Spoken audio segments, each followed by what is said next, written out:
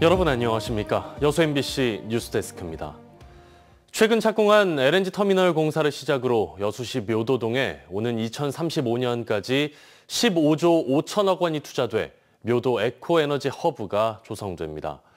지난 6월 기회발전 특구 지정 이후 첫 투자 실현 사례이자 기재부의 지역 활성화 투자 펀드 가운데 최대 규모라는 점에서 의미 있는 투자 유치로 기대를 모으고 있습니다. 최우식 기자가 건설 현장에 다녀왔습니다. 광양항 묘도 준설토 매립장 총 사업비 2,246억 원으로 95만 평의 부지를 조성하는 항만 재개발 사업은 지난 2018년 4월에 착공해 현재 56.2% 공정률을 보이고 있습니다. 2035년까지 15조 5천억 원이 투입돼 묘도 에코에너지 허브가 들어설 곳입니다. 현 정부의 전남도 균형발전 지역 공약 과제의 하나로 탄소 중립 에너지 클러스터와 그린 에너지, 글로벌 에너지 신산업 허브 등 3개 사업이 핵심입니다. 이 가운데 그린 에너지 사업에 해당하는 LNG 터미널 사업이 최근 첫 삽을 떴습니다.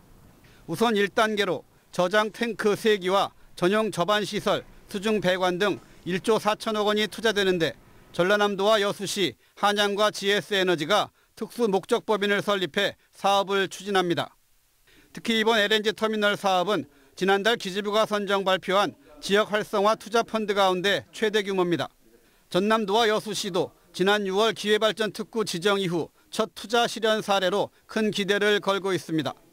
여수 광양 북가산단에 연간 300만 톤의 대규모 LNG를 안정적으로 어, 공급할 것으로 어, 예상을 하고 있습니다.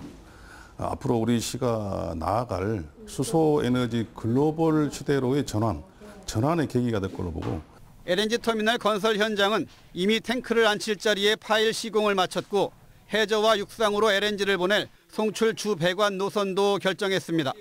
또 이곳 터미널 바로 옆에 곧바로 LNG 발전소가 들어설 예정이어서 광양만권의 청정 에너지 전환도 속도를 낼 전망입니다.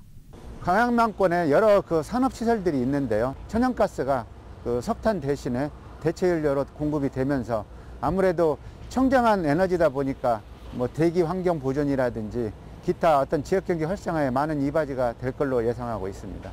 동부가 LNG 허브로 거듭날 대형 건설 사업이 시작되면서 광양만과 묘도의 지도가 또 한 번 크게 바뀌고 있습니다.